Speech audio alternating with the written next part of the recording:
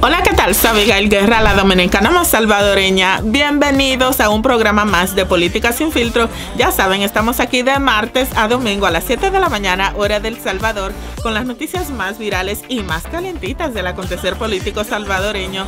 Antes de comenzar, les cuento que su servidora ha emprendido como asesora y vendedora de bienes raíces en El Salvador.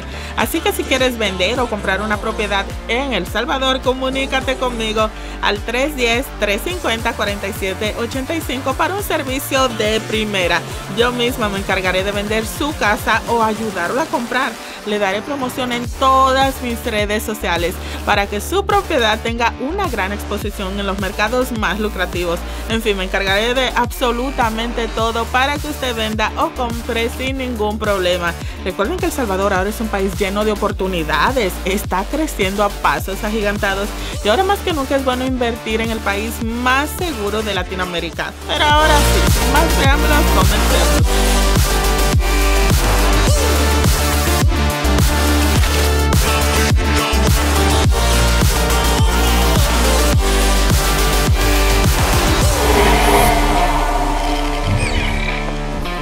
La noticia que dio el presidente Nayib Bukele del inicio de la operación de Google en El Salvador hizo que se les terminara de sumir la mollera a todos los gorgojos de la oposición.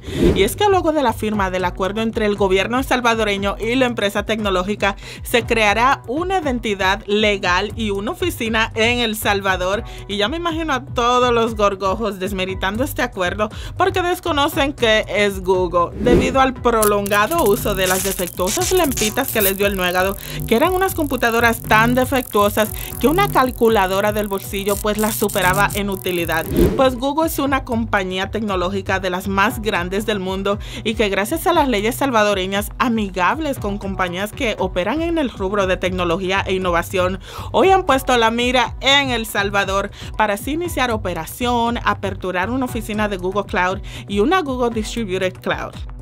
El presidente Nayib Bukele se reunió con el CEO principal de Google y otros directivos para oficializar el inicio de operaciones de la compañía. En redes sociales, Google dijo, orgullosos de traer la tecnología de la nube a El Salvador de algunas de las maneras más significativas, enfocadas en mejorar la atención médica y la educación para el país. Google Cloud también agregó, nos asociamos con la presidencia de El Salvador para construir un hub tecnológico en Centroamérica. Abriremos una oficina y traeremos infraestructura digital a El Salvador con la tecnología de la nube en el centro de la modernización del país en áreas como servicios gubernamentales, atención médica y educación. La empresa también busca trabajar de la mano con el país para fomentar el desarrollo tecnológico de toda América Central, creando un futuro sólido en el área. La multinacional opera desde diversas partes del mundo donde tiene instaladas unas 40 sedes entre ellas en la ciudad de Nueva York, Estados Unidos, Ámsterdam en Holanda, Dublín en Irlanda, Tel Aviv en Israel, Londres, Inglaterra, Zurich, Suiza, Canadá, Francia, Dinamarca, Italia y otras naciones donde poseen al menos 70 oficinas. Todo esto ratifica que El Salvador sigue avanzando en la ruta de convertirse en un centro de innovación que atrae la inversión extranjera. Miguel Paredes, Noticiero El Salvador. Pues esta misma explicación la da el jefe de fracción, Cristian Guevara,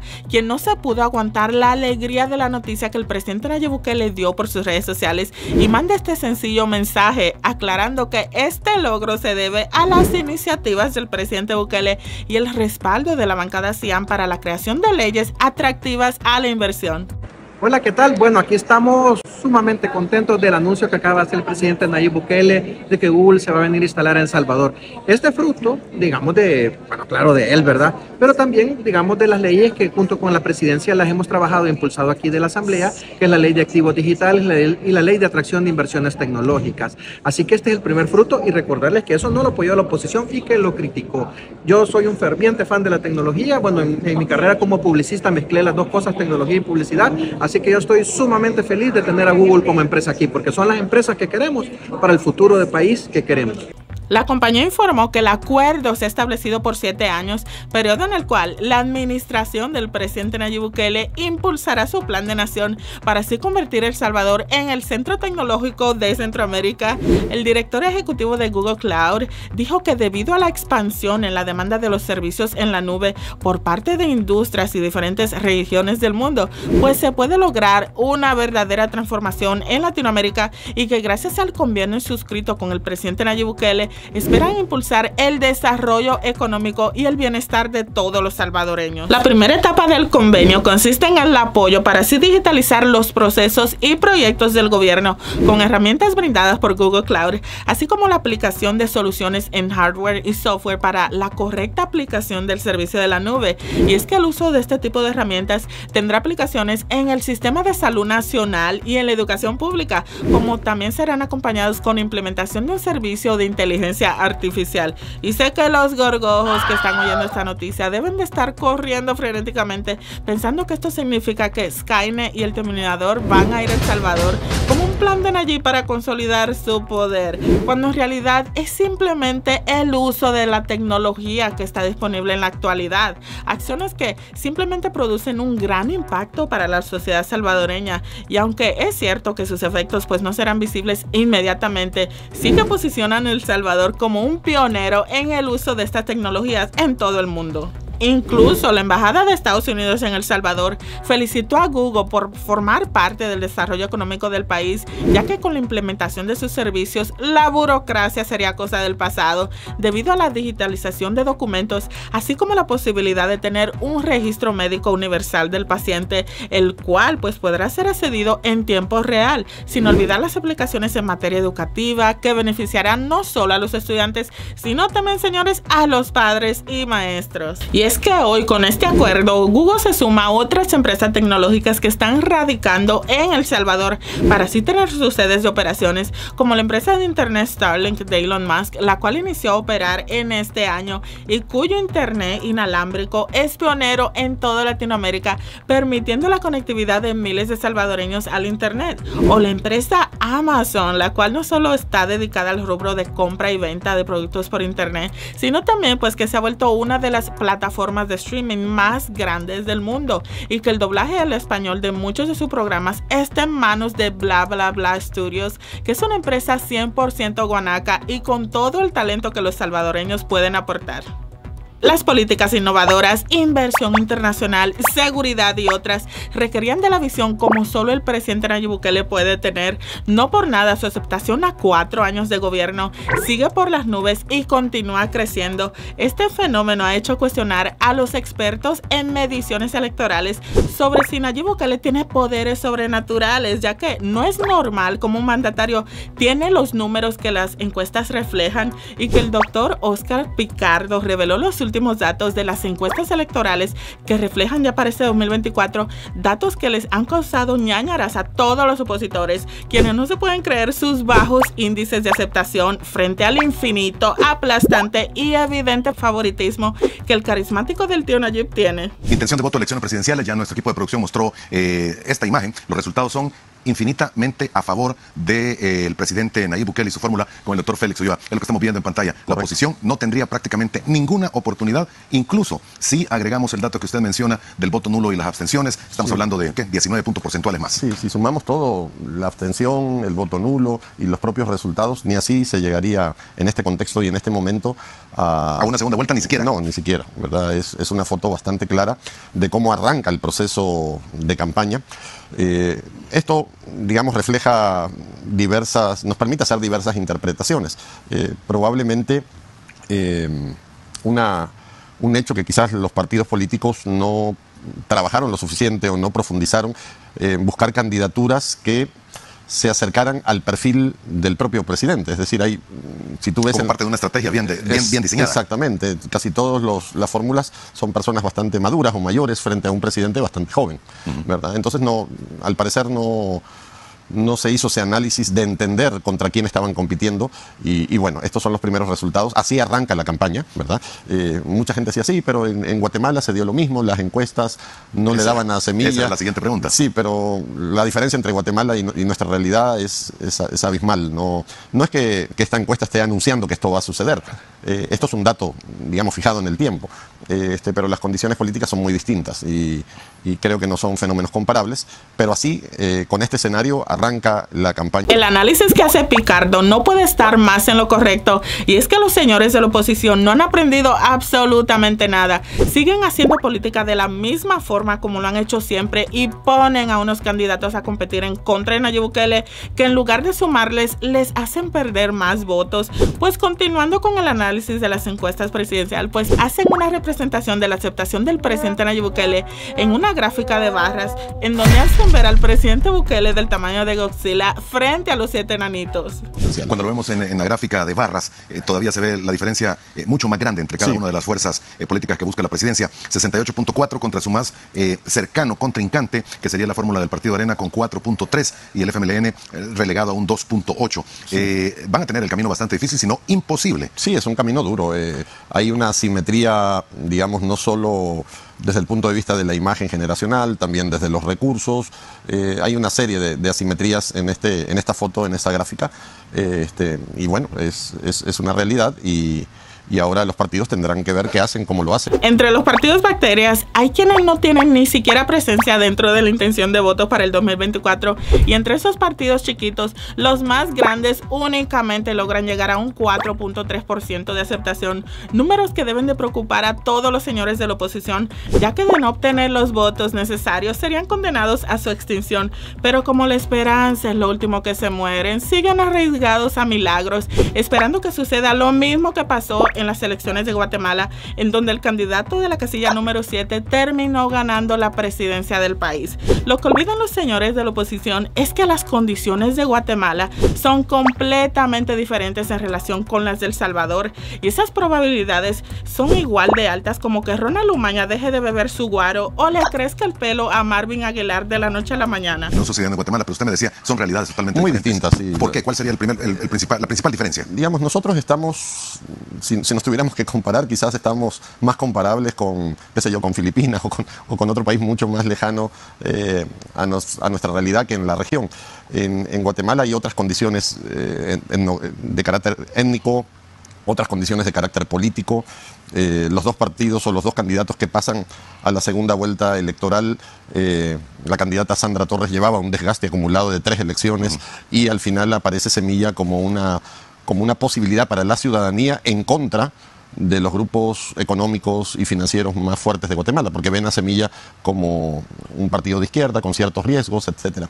Entonces creo que son condiciones políticas y no hay la figura, digamos, disruptiva de un candidato como el que tenemos aquí en El Salvador, que, eh, que habría mucho que decir y, y, todo el trabajo que se ha hecho en marketing, en comunicaciones, el trabajo simbólico, el trabajo, digamos, en materia también de seguridad. Y si no se han dado cuenta, hemos creado la camisa de los héroes salvadoreños en cian y negra, lo cual puede ser tuya por un costo de 25 dólares. Tenemos las camisas de Nayib Bukele con un diseño nunca antes visto por un costo de 25 dólares en varios colores, como también con el mismo diseño en manga larga a 25 dólares al igual que las camisas originales con el diseño de las estrellas por un costo de 20 dólares, como también en manga larga en diferentes colores a 25. La camisa veranera con el estilo de las estrellas en blanca y negra a 20 dólares. Y también tenemos las camisas de los diputados Cian y el presidente Nayib Bukele,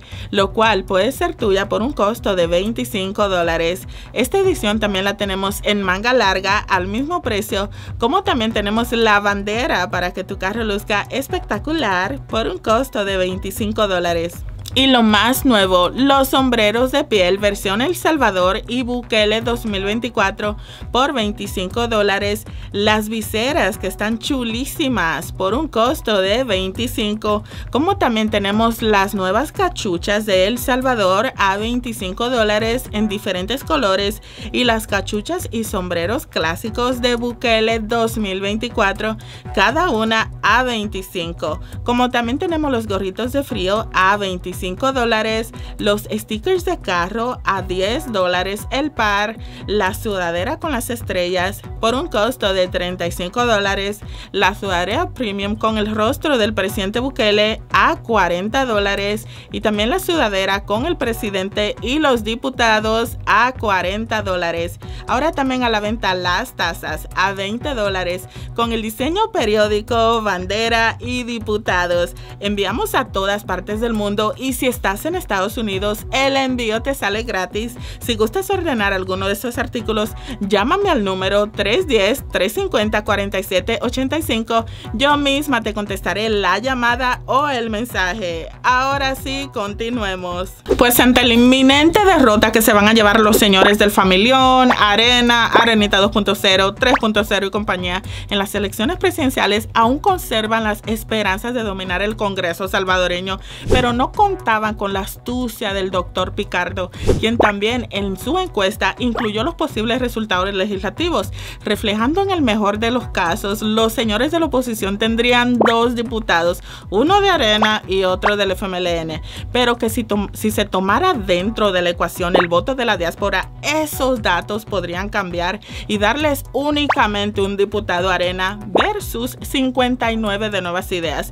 Es decir, que los eventos de la planadora CIAN del 2020 serían replicados y hoy sí terminarían en camisa de fuerza los opositores. Serían los resultados en las proyecciones. Miremoslo y nos lo explica. Doctor, lo podemos poner en pantalla tal vez. Bueno, con estos, eh, con estos datos eh, trabajamos, eh, uno de los colegas del Instituto, Gesser Candray, trabajó en las proyecciones utilizando los dos métodos, el anterior, que es el que tienen a la derecha, que es cocientes y residuos, y el método de Hunt. Y ahí se puede ver la diferencia.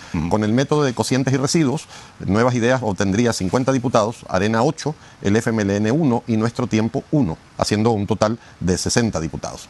Pero con el método de Hunt cambia la foto. Eh, Nuevas Ideas tendría 58 diputados, que es lo que, lo que se va a aplicar realmente, Arena 1 y FMLN 1.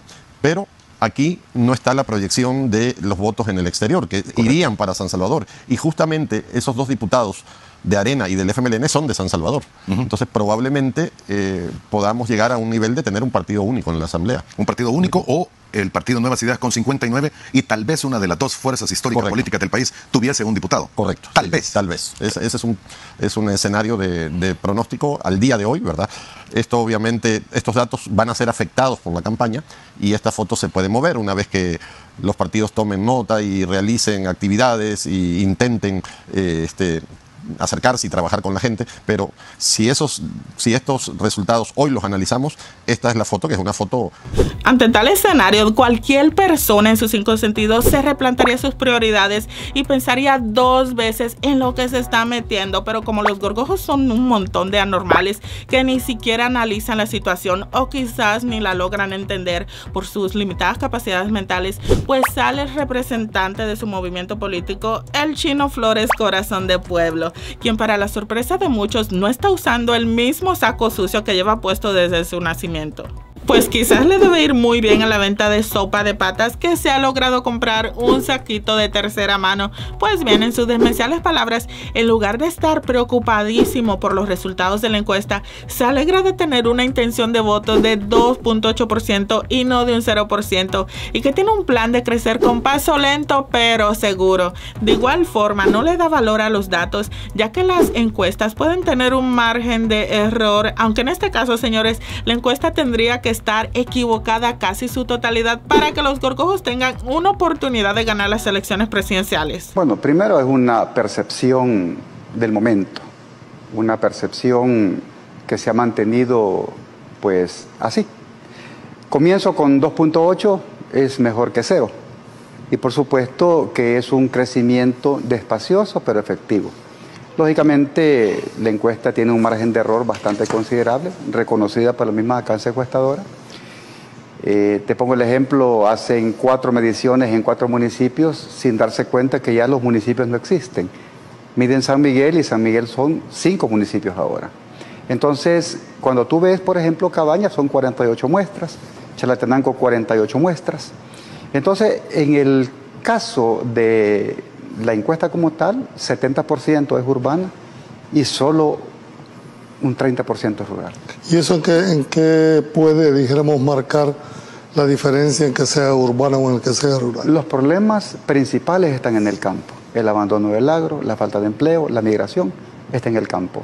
Lógicamente, cuando uno ve la encuesta, eh, una encuesta que te da datos, eh, nosotros la hemos analizado y sobre esa base vamos a comenzar a preparar nuestra campaña. Por el momento no hay candidatos, nadie se ha inscrito, solo hay eh, posibilidades de candidatos electos en las internas y que incluso puede cambiar en su momento a la... El candidato del Partido del Futuro hasta trata de insinuar que tienen un as bajo la manga para así impedir la inscripción del presidente Bukele, aunque lo más probable es que les vuelva a reventar ese petardo en la cara. Pero bien, el chino Flores no logró contestar las inquietudes del entrevistador y luego de haber dado sus demenciales argumentos sobre los resultados de la encuesta, sigue deslegitimando los datos porque a su parecer no le han hecho las preguntas adecuadas a los encuestados. A ver, pero la, la intención de voto no establece personas, sino que está orientada a la bandera. Si tú lo ves exactamente, está hablando de nuevas ideas, nuestro tiempo, Arena, FMLN,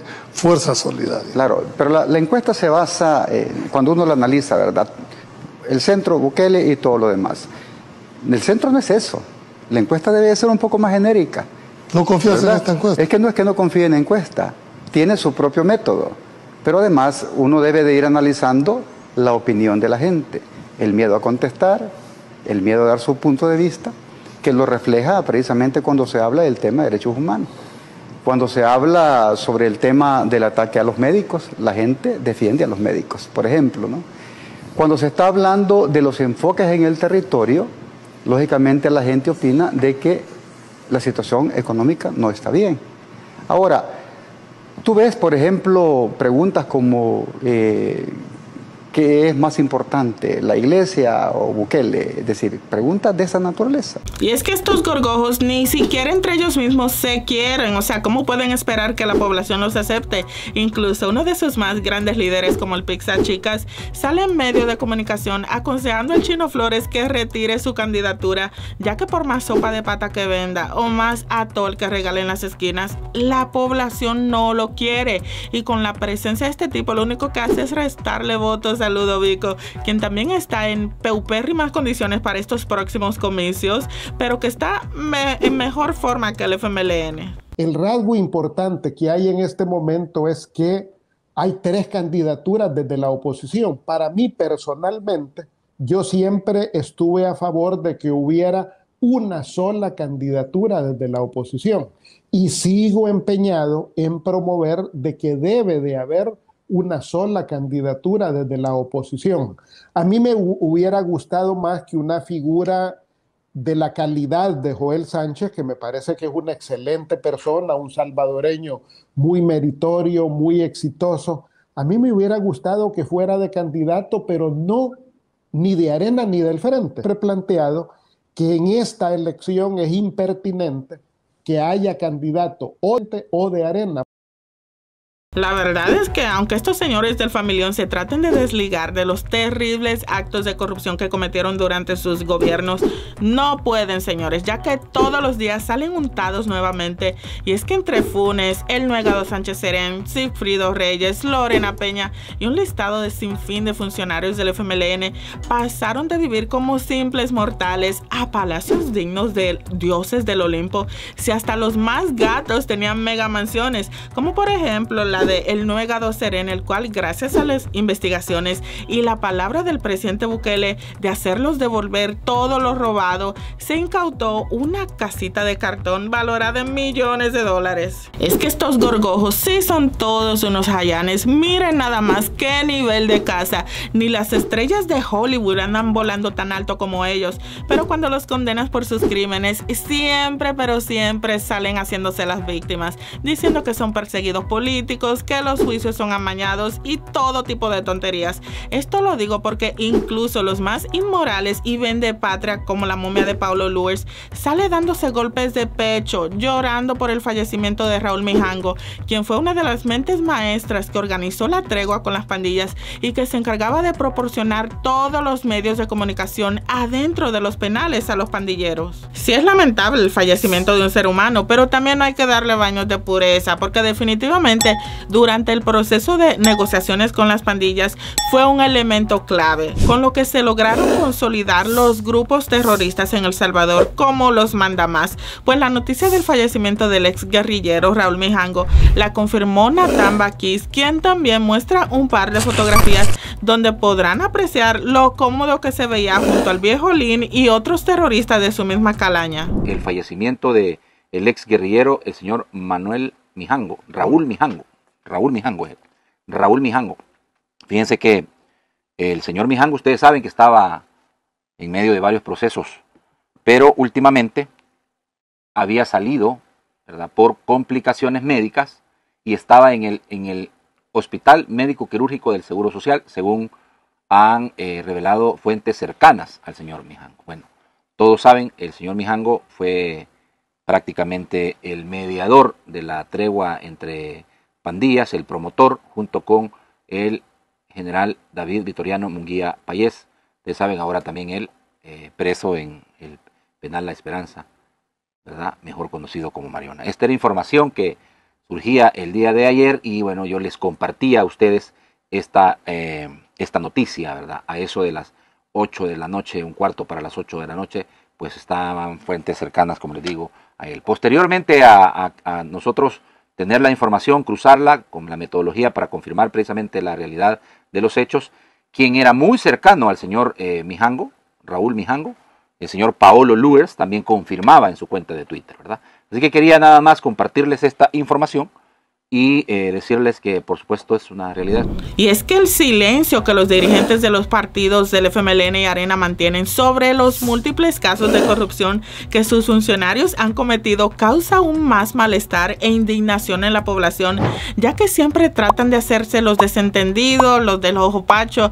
Uno que ante los recientes eventos de corrupción ha brillado por su ausencia es la lumbrera de Ludovico, quien no ha dicho ni pío sobre Beto Romero. El silencio de Ludovico fue motivo de una calorada discusión marital en vivo entre el cabezón de Marvin Aguilar y el chupitos de Ronald Umaña. En esa entrevista casi se agarran de las greñas, pero gracias a la falta de cabello de Marvin Aguilar, Ronald Umaña no pudo. Y es que Marvin no pudo aguantarse las ganas de decirle a su borracha contraparte que Ludovico pertenece a Arena y que por decencia debería de decir algo sobre Beto Romero, lo que desató la ira de Ronald Umaña, que por poco rompe su botella de y ataca a Marvin. Su silencio frente a esto no es correcto.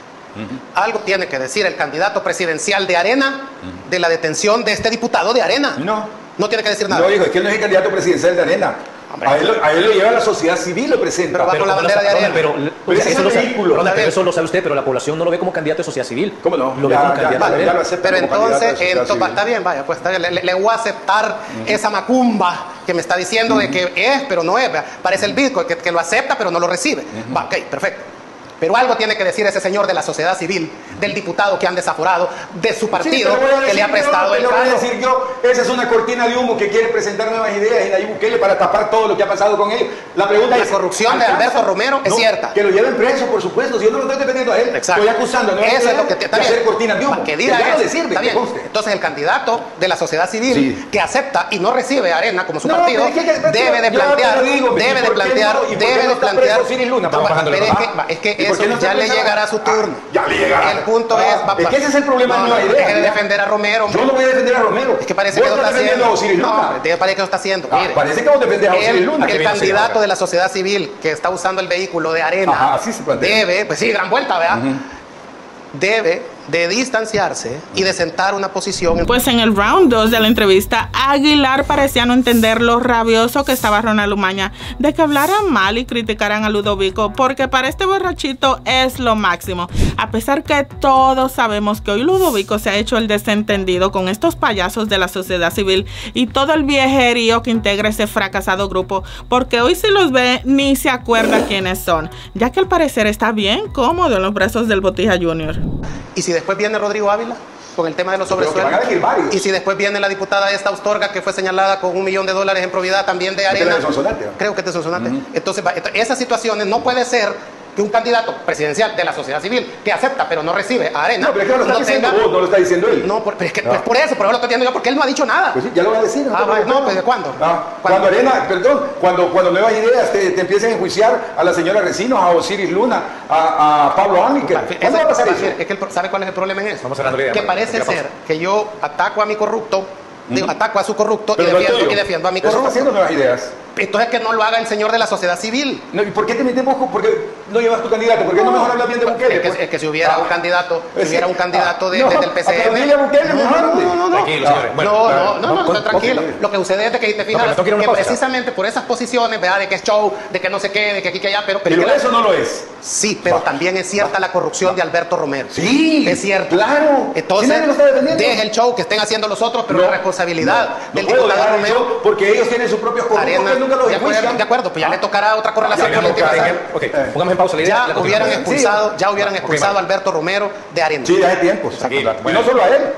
Bueno, en lo que nuestros analistas se toman el vasito de agua y usted también el pronunciamiento y las acciones que Nuevas Ideas hace respecto a los posibles indicios de corrupción de funcionarios que estaban en sus filas son clara diferencia de cómo un instituto político comprometido con el pueblo salvadoreño debe de actuar, ya que a pesar de haber tenido que tomar medidas como de desafuero, expulsiones e inhabilitaciones en sus funcionarios, esto únicamente ha fortalecido la imagen del partido frente a los mismos de siempre que no hacen nada, se hacen las víctimas y aún así pues esperan que la población crea que están renovados, pues un análisis sobre el comportamiento de nuevas ideas en el tratamiento de los corruptos lo hace Tania Pastor, quien dice que no son nada comparable con el actuar del FMLN y Arena, quienes siempre protegieron a sus corruptos. Bueno, en cuanto a la, al requerimiento durante juicio y solicitud de desafuero, yo creo que está llevando eh, me agrada el estilo de esta bancada, de, de, esta asamblea que lo está haciendo de una forma express. Realmente no, no están haciendo lo que pasaba antes, lamentablemente, que se tomaban todo el tiempo que, da la ley.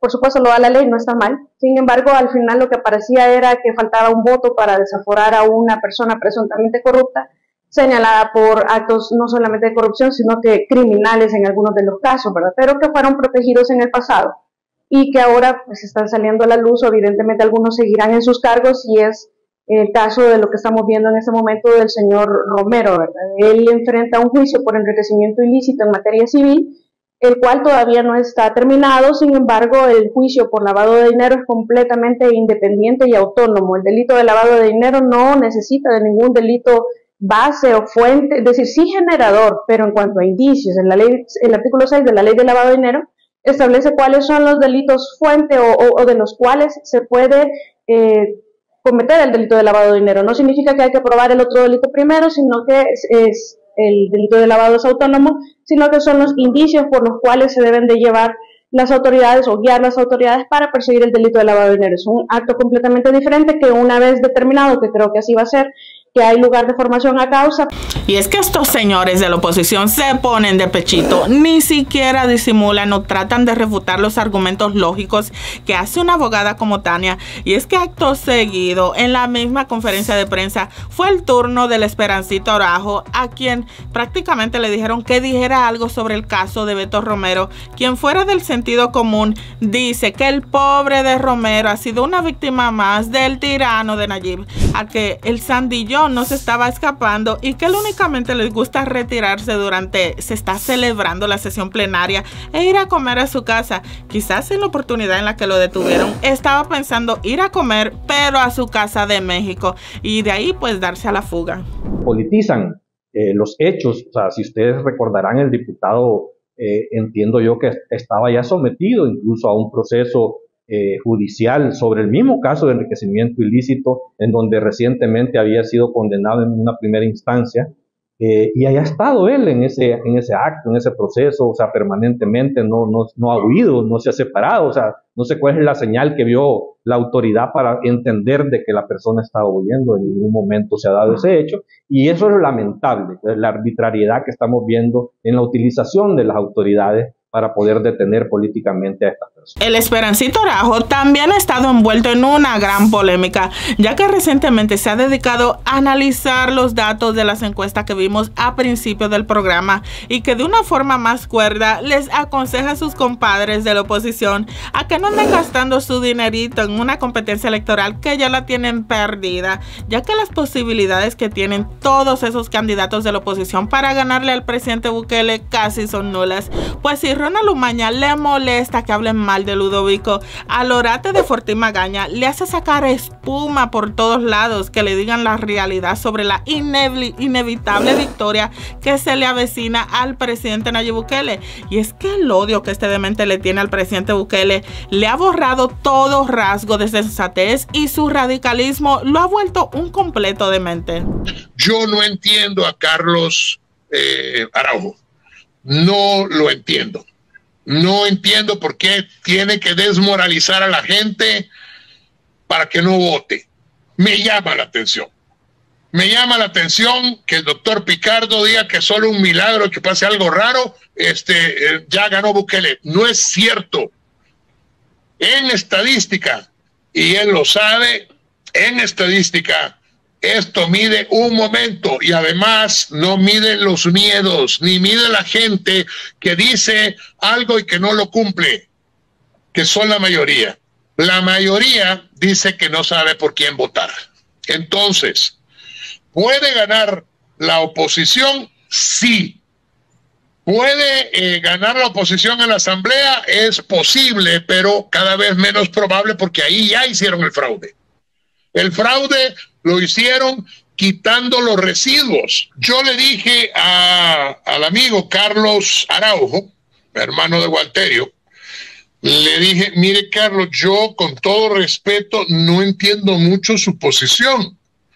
Usted va a cualquier canal de televisión o de radio donde lo indiquen a decir que ni voten porque ya ganó Bukele. Entonces yo no entiendo por qué hace usted eso. O sea, usted se supone que no es del lado de Bukele, porque también podría tener todo el derecho a ser amigo de Bukele como lo es el hermano. Pero él llega a un, a un, a un canal, le preguntan cualquier cosa, si, si Bukele ya ganó, no vayan a votar. Casi como que si fuera a propósito, decirle a la oposición no pierdan su tiempo, no voten, Bukele ganó. No es cierto eso. No es cierto eso, ha venido bajando. Hasta aquí el programa de hoy. Nos vemos mañana en un próximo video. Si te gustó mi programa, te invito a que me ayudes a llegar a los 300 mil suscriptores. Y no olvides activar la campanita de las notificaciones para que YouTube te avise cada vez que subo un video. Y ya sabes, si quieres vender o comprar una propiedad en El Salvador, comunícate conmigo al número 310-350-4785. Yo me encargaré de que tu propiedad se venda lo más rápido posible y a un buen precio ya que estoy trabajando con un equipo que son expertos en bienes raíces y su servidora pues trabajará durísimo con ellos para ayudarte en todo el proceso de compra o venta. Y no olvides que si quieres adquirir alguno de los artículos que tenemos aquí en venta, lo puedes hacer llamándome o escribiéndome a ese mismo número. Y por último, quiero mandar un saludo muy especial a todos ustedes que siempre me apoyan en mis redes sociales, donde me pueden encontrar como Política Sin Filtro en Facebook YouTube, Instagram y TikTok. Soy Abigail Guerra y nos vemos hasta la próxima.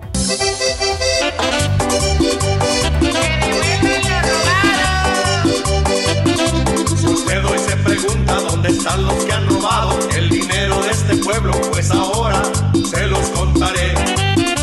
Póngame atención, fíjese usted. Los gobiernos de arena estuvieron 20 años con cuatro presidentes